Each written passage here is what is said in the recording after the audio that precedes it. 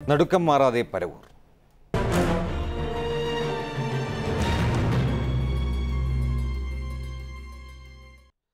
കൊല്ലം കളക്ടർക്ക് പിന്നാലെ പോലീസിനെ വിമർശിച്ച് എ ഡി എമ്മും രംഗത്ത്. പരവൂർ ദുരന്തത്തിൽ തനിക്ക് വീഴ്ച പറ്റിയിട്ടില്ലെന്ന് എ ഡി എം ഷാജഹാൻ വ്യക്തമാക്കി. ഉത്തരവ് നടപ്പാക്കാത്ത പോലീസിന്റെ പരാജയമാണെന്നും എ ഡി എം തുറന്നടിച്ചു.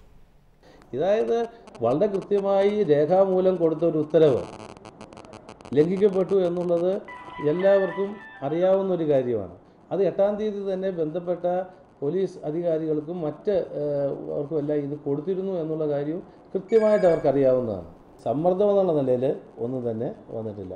പലരും വിളിക്കും നമ്മളതൊരു സമ്മർദ്ദമായിട്ട് കണക്കാക്കാൻ നിന്ന് കഴിഞ്ഞാൽ അങ്ങനെ സമ്മർദ്ദത്തിൽപ്പെട്ട് എടുത്ത പല തീരുമാനത്തിന്റെ ബാക്കിപത്രമാണ് ഇപ്പോൾ ഇത് ചെയ്യുന്നത്. അത് ആരാണ് എന്ന് നമുക്ക് ഞാൻ അതിനെക്കുറിച്ച് കൂടുതലായിട്ട് കിടക്കുന്നില്ല. പക്ഷേ എന്റെ ഉത്തരവിനകത്ത് കൃത്യമായി ഈ ഉത്തരവ് നടപ്പാക്കേണ്ട നടപ്പാക്കേണ്ടത് ആര് എന്നും എല്ലാം കൃത്യമായി എഴുതിയിട്ടുണ്ട്. ഇപ്പോൾ ഇത് വളരെ രസകരമായ ഒരു കാര്യമായിട്ട് എനിക്ക് തോന്നുന്നു. കാരണം ഈ നിരോധനം ഉത്തരവായ നിരസിച്ച ഉത്തരവായ ഉദ്യോഗസ്ഥൻ ഇതിനകത്ത് ഒരു സംശയത്തിന്റെ നിഴലിൽ നിർത്തപ്പെടുക എന്ന് പറയുമ്പോൾ അതിനകത്ത് എന്താണ് അർത്ഥമുള്ളത്? ഞാൻ ജീവനോട് ഇരിപ്പുണ്ട് അന്നും ഇന്നുമുണ്ട്.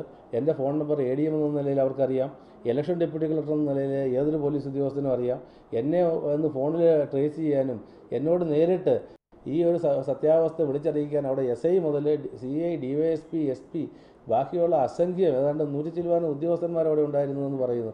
ഇവരിൽ ആരെങ്കിലും ഒരാൾ എന്നെ ഒന്ന് ഫോൺ ചെയ്ത് ചോദിക്കുകയാണെങ്കിൽ സത്യാവസ്ഥ അറിയാവുന്ന ഒരു സാഹചര്യത്തിൽ ഏതെങ്കിലും ഒരാൾ പറയുന്നതിന്റെ ഫോൺ റെക്കോർഡുകളോ അല്ലെങ്കിൽ ഞാൻ ഇങ്ങനെ സംസാരിച്ചിരുന്നു എന്നുള്ളൊരു തെളിവെടുക്കേണ്ട കാര്യം എന്താണ്?